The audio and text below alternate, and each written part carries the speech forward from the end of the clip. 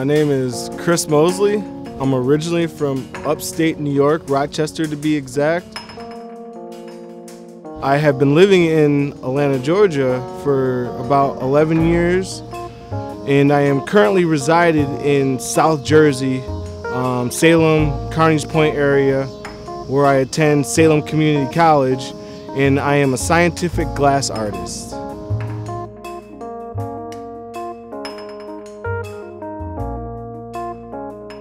So basically, when I got into glass, I had lost everything. I had quit my two nine to five jobs. I wasn't happy, and um, I was just looking for something new. Um, and I came across a friend who said, you know, search for something you, you like. And I always thought glass blowing looked cool, so I found a local studio in the Old Fourth Ward in Atlanta. And I asked Matt Janke if he, if I could be his apprentice. Basically, just work, you know, bringing Matt bits, punties, learning the basics about glass. And that lasted for about six months where I was just doing being a mold boy and his assistant and really learning about glass. Um, after those six months, um, I kind of came into my own. I could make things. Um, they weren't the best things, but I could make stuff.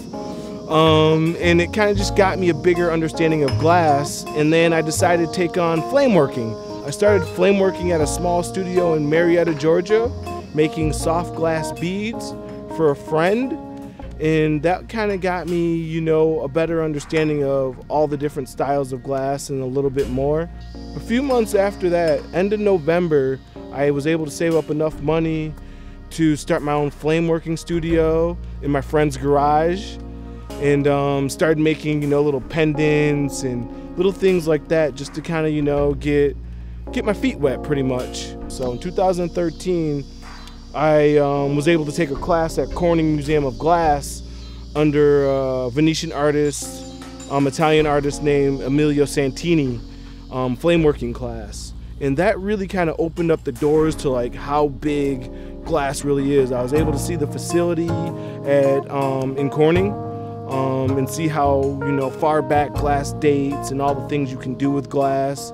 Was able to take this class and really sink my teeth into this medium and understand it more. And um, I talked to Emilio, and he said there's a cheap school in South Jersey called Salem Community College. They teach you the basics um, gla about glass, and they also have a scientific program. So I registered in the fall of 2013 and started um, the programs there. Basically, I'm reaching out to you guys is because I'm at a turning point in my life.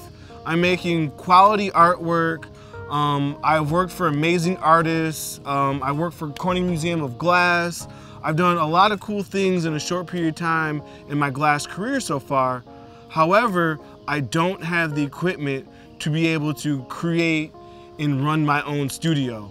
Um, I graduate in May, and once that's over, I won't have a facility of my own to be able to make anything. So I'm reaching out to you guys to help me fund this studio so that I can actually have the right equipment to be able to make amazing artwork and push my art career much further than anything that I can imagine. With the $6,500, I'll be able to create a full running flame working studio.